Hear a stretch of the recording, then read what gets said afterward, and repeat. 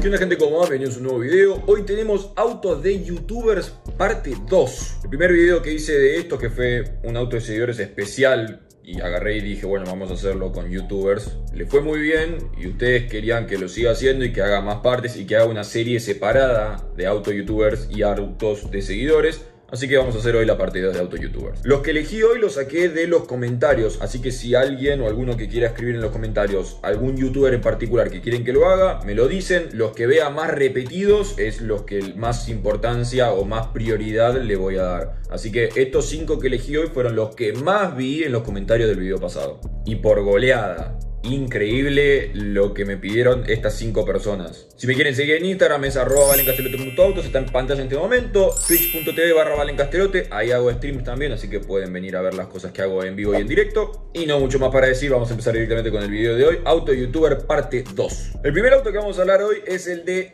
Joel Sager o Saer, porque tiene una H, no sé si se pronuncia o se pronuncia, depende del apellido, perdón Joel, pero bueno, yo le voy a decir así, es el famosísimo Gol Power de 500 caballos. Lo que me pidieron este auto, increíble las personas lo que quieren que hable yo de este auto o que opine de este auto. Es más, yo hace no sé cuántos episodios de Autodecidores, pero había puesto un Gold Power con 350 caballos y dije, wow, qué rápido que debe andar, qué lindo que debe ser. Y todo el mundo en los comentarios, Valentín, el de Joel anda más rápido porque tiene 500 caballos. Valentín, habla del Joel, el de Joel no sé qué, el de Joel no sé cuánto. Ya sé, ya lo conozco el auto de Joel. Pero bueno, nada, Joel no es seguidor mío. Bueno, ahora sí, porque en realidad me sigue en Instagram. Gracias Joel, un saludito para vos. Pero nada, no me lo mandó para que yo opine. Entonces bueno, nada, vamos a hablar de el Gold Power de Joel. Como dije, es un Gold Power Turbo 500 caballos. Vamos a hacer un paréntesis, los Gold Power no traen turbo y menos 500 caballos. En teoría deben traer 100 más o menos, dependiendo del motor, 100, 110, 90 aproximadamente. O sea que estamos hablando de 5 veces la potencia del el auto base.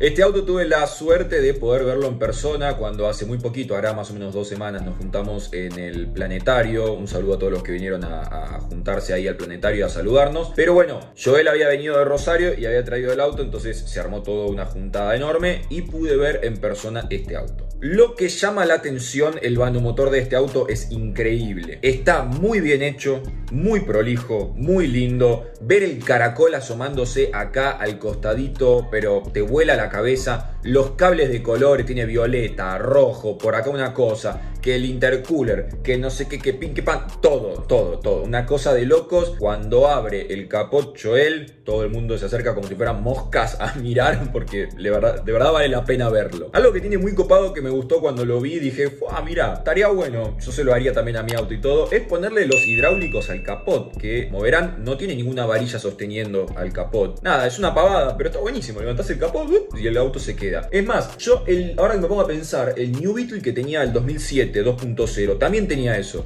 Levantabas el capot y se quedaba. Así que Nada, está buenísimo. Aparte, cuando el motor está muy, muy, muy caliente, a veces la varilla se recontracalienta, salvo que tenga una gomita o algo. Por ejemplo, la Predu tiene una gomita, pero el resto de los autos que tengo, ninguno tiene una gomita ni nada para agarrarlo y tengo que buscar una microfibra o algo para agarrar la varilla porque me quemo. Tengo dedos sensibles y ustedes dicen, no, no tan pero bueno, yo me quemo, así que la agarro con una microfibra y lo pongo porque si no me quemo todos los dedos. Así que poner hidráulico, está muy bueno. Y después, a ver, en cuanto al resto del auto, obviamente está bajado no me cabe ninguna duda, y tiene llantas 15 pulgadas, no sé bien de cuáles son estas, pero se los vi a varios Gold Power, creo que es una llanta bastante clásica, y el auto es simple, gris sobre gris, los espejos en negro que son los que vienen así porque son los de plástico, no es que están ploteados ni nada, la antenita corta supongo que le habrá puesto ahí porque creo que no viene así de cortita, para golpe de otro color, la verdad es que desconozco si viene de este color, asumo que no. Estoy buscando una foto de adentro porque cuando me acerqué y lo vi por adentro al auto, es buenísimo ver la cantidad de pantallitas y cositas que tiene para medir una cosa, medir la otra, punto, todo. Está buenísimo, entonces quiero ver demostrarlo eso, a ver si encuentro algo. Bueno, no encontré una foto, pero encontré un video donde está haciendo una tirada en el cuarto de milla y ahí se van a ver todas las computadoritas y las cositas que dio de las pantallitas y todo para que vean bien a qué me refiero. Me voy a poner los auriculares porque no vamos a poner el video sin escucharlo.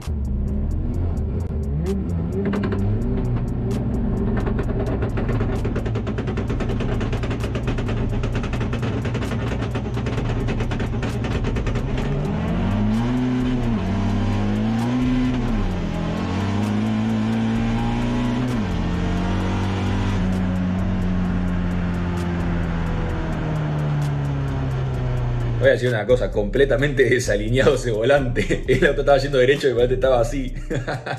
Pero bueno, ahí vieron lo que yo digo de las pantallitas y todas las cosas para medir las distintas cosas. No sé, presión del aceite, presión del turbo, un millón de cosas seguramente tiene que medir, porque tiene 500 caballos. Hay que estar seguro, hay que estar tranquilo de que todo está en orden. Aquí hay una foto donde está Joel, si no lo conocen, y se puede ver bien el motor, cómo lo tiene armado. Ahí está lo que yo digo, las bobinas, los cables, todas las cosas, todo. Todo, todo de color, está buenísimo, me encanta, me parece genial. Como lo dije, muy bien hecho este vano motor. Acá dejo un video que subió pasando por un túnel, eh, hace un quilombo terrible.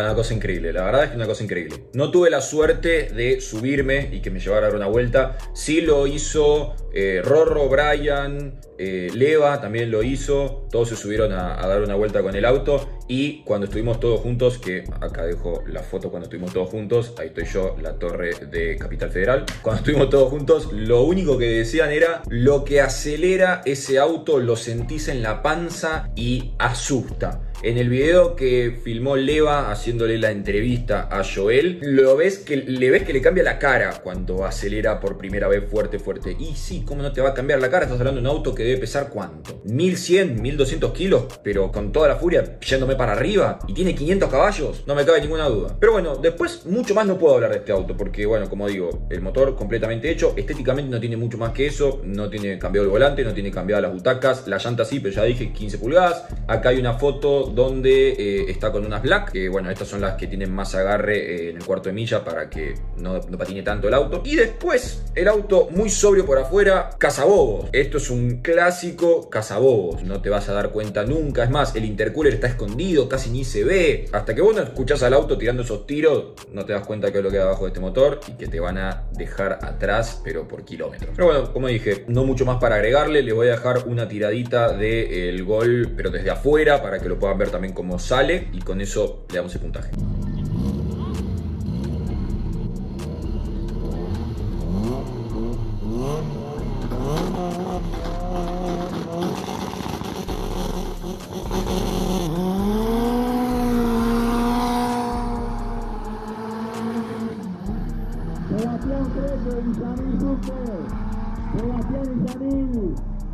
Bueno, Joel, a tu Gold Power le voy a poner un 10. ¿Cómo no poner un 10, un Gold Power que tiene 500 caballos? Más allá de que de afuera esté re sobrio y no tenga mucho para decir, 500 caballos, un Gold Power, está demente. Antes de seguir con el video, quería contarles que estuve usando una aplicación que me ayudó a generar ingresos extra para los proyectos que estoy armando, como el Civic y la Prelude. La aplicación se llama Binomo y es una plataforma segura para hacer trading e inversiones. Lo mejor de todo es que tiene soporte a las 24 horas y solamente necesitas un teléfono, computadora y conexión a internet. Vengan que les muestro cómo funciona. Bueno, como ya saben, estuve estudiando en la versión demo y ahora lo único que tengo que hacer es analizar este gráfico que está en pantalla para hacer un movimiento acertado. Voy a hacer una inversión de 15 mil pesos a que este activo va a bajar. Por lo que estuve estudiando, creo que tiene una tendencia bajista. Y bueno, como pueden ver, generé un ingreso de 27.450. De más está decir que cuanto más estudies dentro de la plataforma, mejor te va a ir. Por eso te invito a que te descargues la aplicación en el link que va a estar en la descripción. Y junto a la cuenta nueva te van a regalar mil dólares ficticios para que empieces a practicar en tu cuenta demo. Esta aplicación solamente está disponible para los mayores de 18 años porque hacer trading de manera descuidada puede ser muy riesgosa. No te olvides de pasar por las redes sociales de Binomo porque organizan torneos y también tienen muchísima información que puede ser de mucha ayuda.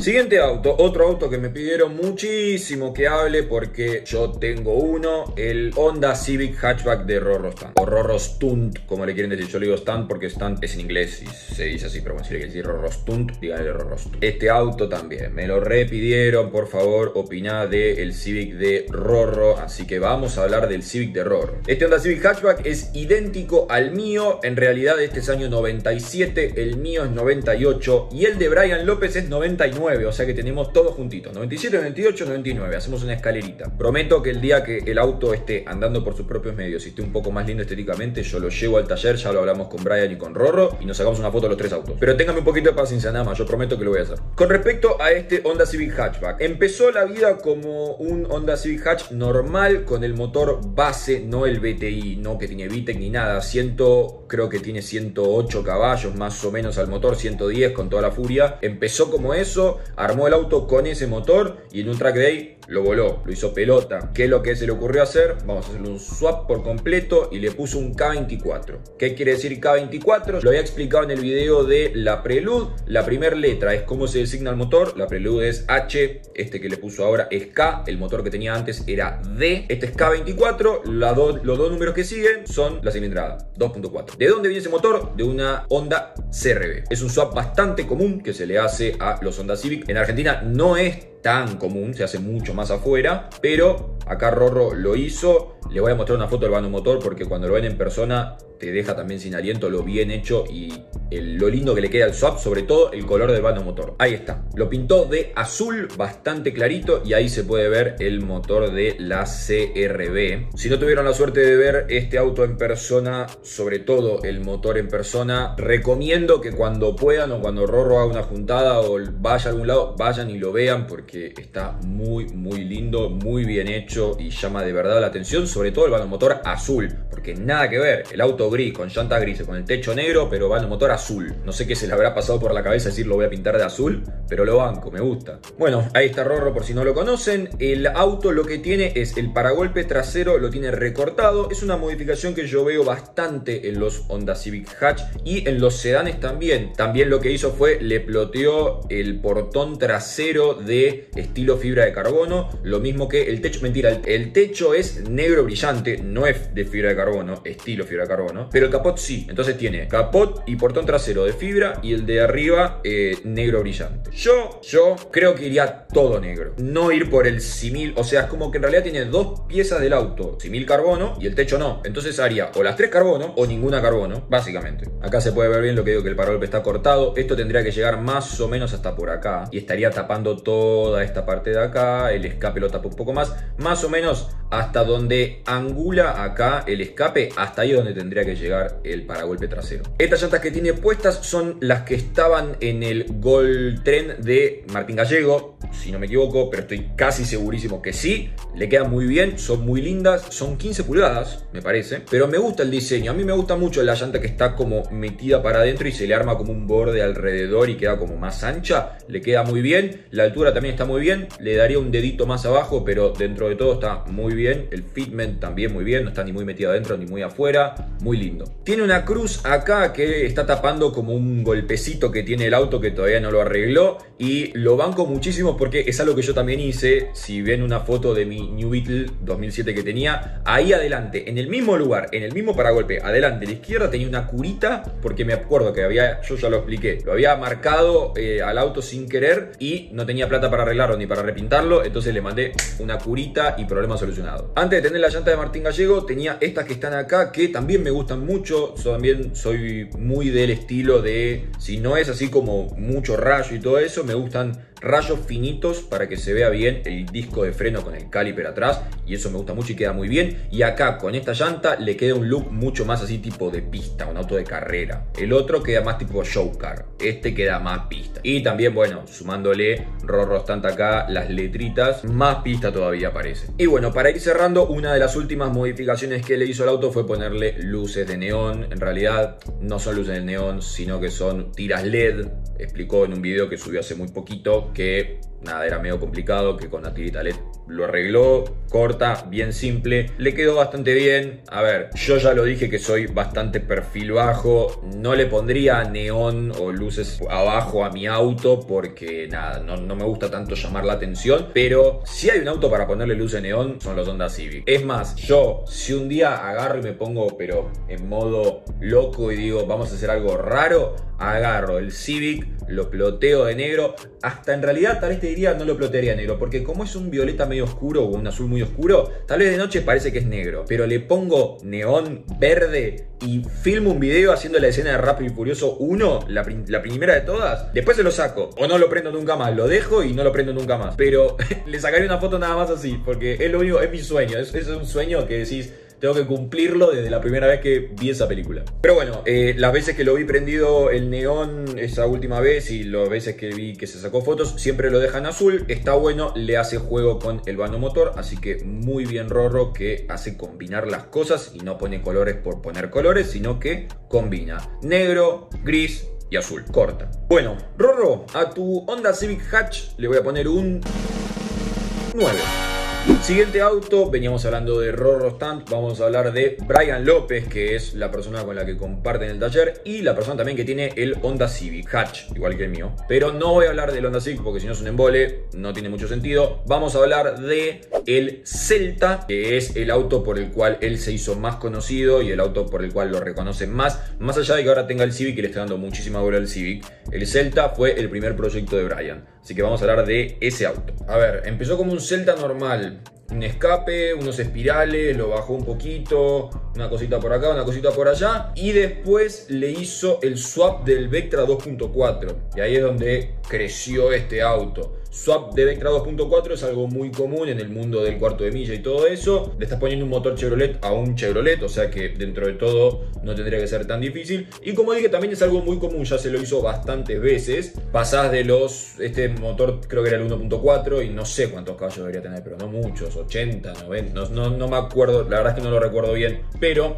con el motor del Vectra 2.4 ya está haciendo 180, 170, 180 o 160, más o menos, no estoy seguro, pero está subiendo muchísima la potencia en un auto chiquitito, así que andaba muy muy bien. Y lo que le pasó a este auto fue que lo llevó a un track day con el swap hecho lo estaba disfrutando, lo estaba pisando, lo estaba cagando a palos y si me acuerdo bien, hacía calor ese día y algo le pasó a los frenos. No sé si se, se sobrecalentaron y empezó a frenar y no frenó o algo, creo que era el líquido de frenos que se calentó o algo así y nada, no frenó en una curva, se fue directo contra eh, las cubiertas estas de, goma, viste, las que ponen para que amortiguar el golpe y bueno, nada, se la pegó y ahí quedó el, Celta. Y después de eso, eh, reconstruyó un poco la trompa, enderezó un par de cosas, bla, bla, bla pero no mucho más. El auto quedó un poco abandonado porque al poco tiempo se compró el Civic y el Civic es el auto de ahora que le está dando mucho más importancia. Pero lo que hablé con Brian en persona fue que él tiene unas ganas de armar ese auto increíbles y que va a quedar impecable. Va a ser una locura lo que va a hacer ese auto. Va a decir que cada bulón que vea va a estar brilloso, limpio y como corresponde. O sea que va a armar un auto para mostrar y lucir. Así que estén manija, estén atentos a lo que pasa en el canal de Brian López porque le va a meter muy potente a ese auto. Estén atentos. Y en esta foto que podemos ver lo tiene con las llantas que eh, en realidad ahora las tiene en el Civic, ¿no? Esas llantas eran las que tenía Rorro en su Civic, ahí se puede ver también el stickercito y todo eh, de, de, Rorro Stand y eh, se las puso ahora al Celta y después del Celta, después de esta foto, se las puso al Civic, así que no sé qué llantas le irán al, al Celta. No, no lo sé, pero bueno, eso es lo que puedo deducir. Pero bueno, vamos a mostrarles un poco cómo estaba antes del choque y antes de todas esas cosas para que vieran, para que vean de dónde salió este auto o cuál era su primer look o algo así. El auto estaba así. Si ustedes dicen, Valen es perfil bajo, esto es la otra punta de perfil bajo. Miren lo que es este ploteo. Una cosa increíble. Tiene las tazas pintadas de celeste con toda este ploteo que es rosa, con un pulpo, con un quilombo ahí, ahí, ahí. Pero bueno, yo soy otra cosa, yo lo dejo negro. Pero bueno, son gustos personales. Del otro lado está así el auto, tiene un 22 y nada más, no tiene un pulpo, todo eso está del otro lado. Y así lo tenía antes de ploteo, negro sobre negro. Yo toda la vida voy por este look. Es más, siempre digo que negro sobre negro me gusta mucho. Negro sobre negro, tal vez con un espejito de algún color o algo así como para cortar. Un polarizado, batimóvil, bien oscuro, un black housing, 10 puntos. Acá le había pintado la insignia Chevrolet, se la cambió de dorado a rojo. Buen color también. Así que yo, por mí, este look toda la vida. Acá lo tenía con las tazas pintadas de color bronce, por mí ya lo dije recién, negro sobre negro. El auto no está terminado, así que mm, no sé qué puntaje me voy a ponerle porque no está terminado, está más desarmado que armado, pero vamos a ponerle puntaje por la idea y por lo que va a ser después. Así que por el proyecto que está armando, por cómo sé que va a quedar y lo que va a ser este auto en sí cuando se termine, Brian, a tu Celta le voy a poner un 9. Siguiente auto, vamos a hablar de la Volkswagen Sabeiro de Facu Greco. Eh, Sabeiro G2, si no me equivoco, que es la generación, no es de las nuevas, es de las más viejas. Es más, ahora estoy viendo la patente. Patente C debe ser 2003. No los estoy tirando en número cualquier cosa. Pero bueno, eh, es una Sabeiro mm, relativamente vieja, pero sigue siendo una Sabeiro. Para el que no sabe que es una Sabeiro, ahora la vamos a mostrar. Acá está. Esta es la Sabeiro de Facu Grep. No, mentira, no está así. Así cuando la compró, pero bueno, quería tirar una jodita. Así la compró. La verdad es que la compró y por lo que se le ve así a simple vista, se notaba que era un auto que se usaba para trabajar. Que tiene desgaste, tiene toques por todos lados. Siempre pasa lo mismo con las Aveiros. Es, hay gente que se la compra solamente para modificarla y dejarla al piso y neumática y lleno de audio. Y hay gente que la usa para trabajar. Acá lo que hizo fue compró una usada de alguien que seguramente la usaba para trabajar y se notaba por las cosas que mostraba en su video de cómo estaba estéticamente este auto. Pero bueno, este auto pasó por muchas cosas, acá se lo puede ver cuando le puso las llantas, estas son de Gold Trend, son tazas en realidad, de Gold Trend y ahí es lo que digo, ven, tiene toques acá, acá el cosito todo, todo este borde también medio despegado, o sea, un auto usado. Acá la verdad desconozco si le cambió la trompa o se la pintó de negro, voy a ir porque le cambió la trompa, que es seguramente lo que hizo y seguramente lo que yo hubiera hecho. Y veo una banderita alemana ahí, bueno, bastante sutil y es un clásico en los Volkswagen. Yo no se la pondría, pero lo he visto bastante seguido, así que se la dejamos pasar. Y bueno, después vinieron las modificaciones serias una vez que dejó linda a la estéticamente y le corrigió todas las cosas que estaban mal. Hora de las modificaciones le puso estas llantas que creo que son 15 pulgadas, son medio copia de, me hacen acordar mucho al Golf GTI séptima generación, pero los 7, pero los, los primeros antes de que cambiaran a las 7,5, o sea, a las 7.5 que tiene las llantas distintas, pero en 15 pulgadas, es una réplica de eso, pero en 15 y neumática. Tenés una Sabeiro y no la tenés con neumática, no tenés una Sabeiro. Y así quedó, así quedó toda blanca con la neumática, cambia por completo. Miren lo que es esto y miren lo que es esto. Son dos autos completamente distintos. Te felicito Facu porque quedó muy linda. Pero no se quedó ahí. ¿Qué hizo después de pintarla, dejarla linda estéticamente, la neumática, las llantas? La ploteó. ¿Y de qué color la ploteó? De ninguno, porque no lo ploteó de un color, lo ploteó de muchos colores. ¿Qué quiero decir con muchos colores? Hizo una Sabeiro Arlequín o Harlequin, como le quieran decir, si le dicen en otra parte del mundo, si me lo está viendo alguien de Centroamérica o lo que sea, Harlequin. Para el que no sabe Harlequin qué es, habían salido polos y eh, golfs. Habían hecho como una ediciones limitadas donde agarraban paneles de todos los colores y armaban un auto, pero con paneles de todos colores. Y es un auto real, fuera de cosas, es un auto real, es un auto ya más de colección. Pero agarran y la puerta es azul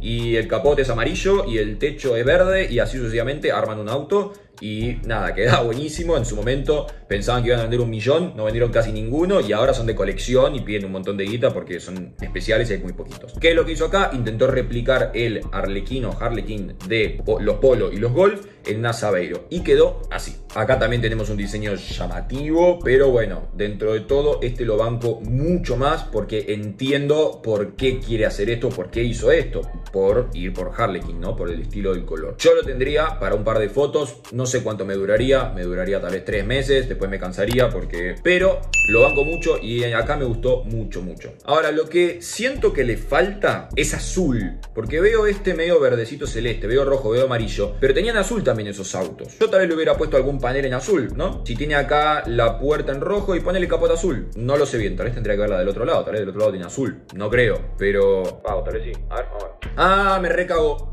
Ahí está, me recago. La puerta del otro lado es azul. Ahí está. Bien, Pacu, me cerraste el, no lo voy a decir. Y el paragolpe delantero no es negro, es azul también. Perfecto, listo, completamente cerrada la boca, Valentín. Perfecto, Pacu. Lo hiciste bien, pensé que te habías olvidado del azul. Ahora, si vamos a hilar finísimo, no me gusta la combinación del verde con el azul uno al lado del otro. Para mí iría, no sé, este rojo. Y, o sea, lo hubiera hecho tal vez de otra manera. Pero nada, es filar fino. Es así, es para decir algo. Acá la tienen más con luz del día, donde se puede ver bien los colores del auto. Es más, acá le cambió la calco y se la puso de colores eh, que dice Airflow, claro, la suspensión neumática. Se la puso de colores arlequino, o sea que por lo menos está haciendo todo combinar. Lo que sí, Facu, para mí, volale ya la, la banderita de Alemania. O sea, cuando estaba toda blanca, ok, pero ahora que ya tenés todo de colores, banderita de Alemania para mí, ahora fue. Pero después, la verdad es que muy linda, muy bien hecha. Yo la tendría seguramente así. Tal vez le pondría unas llantas un poquito más grandes, 16 o 17, en el mejor de los casos. Pero está muy bien, está muy linda. Sabeiro con neumática siempre queda bien. Facu, a tu Volkswagen Sabeiro le voy a poner un 9.5.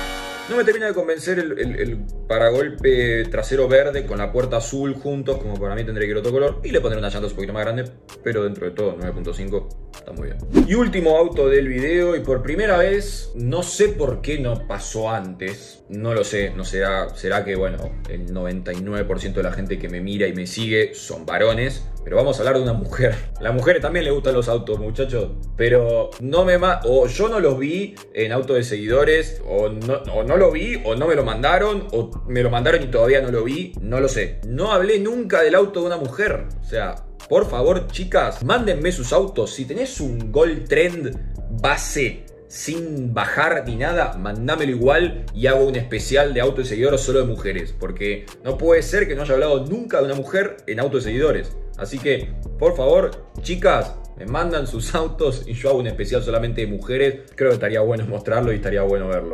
Pero bueno, nada. Dije voy a hablar de una mujer. ¿De quién vamos a hablar? De Laura Gallego. La hermana de Martín Gallego, otra persona que súper apareció en los comentarios del último video. Y el auto que elegí para hablar tiene un Golf GTI 1.8T, pero el que voy a hablar es el Vecta Turbo.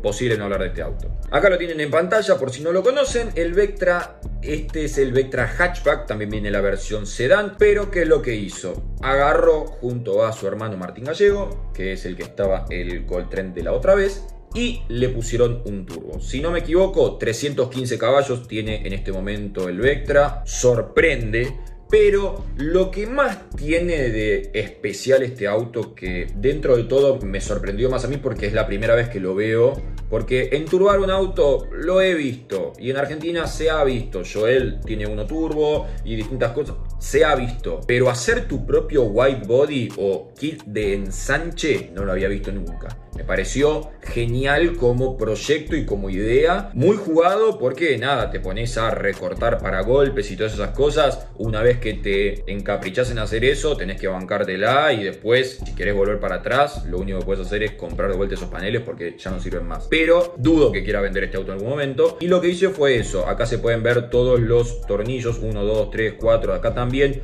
Todo esto que ven acá es un kit de ensanche. Eso está ensanchado, eso no viene en el auto.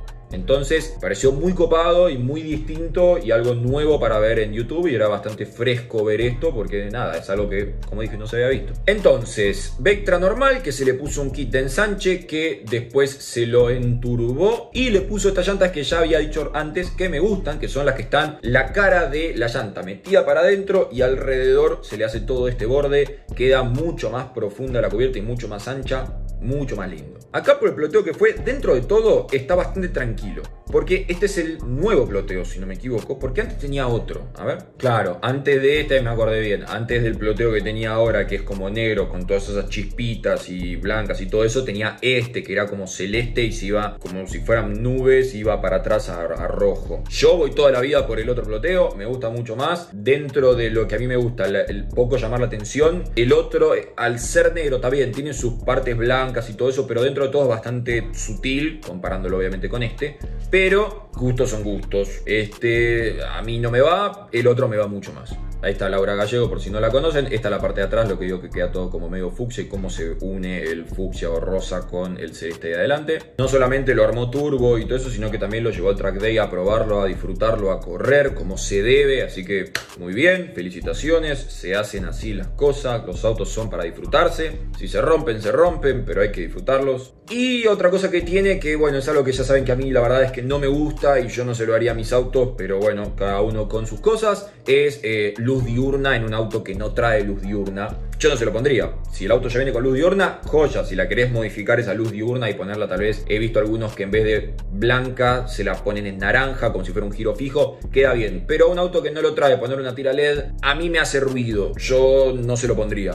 Pero bueno, acá Laura decidió ponérselo. Como digo siempre, mientras le gusta el que se lo pone, no hay ningún problema. Bueno, ¿y qué más puedo decir del auto? La verdad es que creo que está bien hecho. El proyecto siempre me llamó la atención y siempre me pareció, como dije al principio, algo distinto y algo nuevo en YouTube. Entonces, banco mucho la idea. Si tuviera un Vectra, ¿le haría estas cosas? Probablemente no. Probablemente yo no le haría un white body a un Vectra. Y enturbarlo, Sí, haría un Vectra, pero necesitaría muchísima ayuda porque no lo sé hacer. Pero dentro de todo, como digo, como dije recién, banco mucho el proyecto, me pareció algo muy bueno, entonces lo voy a puntuar. Voy a hacer un mix entre la idea, cómo quedó y gusto personal.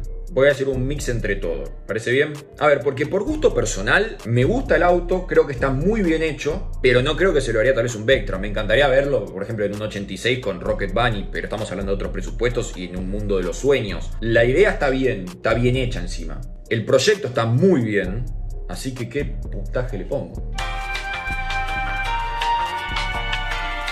Porque encima lo tiene enturbado, o sea, le tocó el motor y encima estéticamente también lo tocó. Mmm, qué difícil este puntaje. Bueno, a ver, después de pensarlo mucho y hablarlo con acá el, comité de, la puntuación, eh, eh, Laurita, a tu Vectra le voy a poner un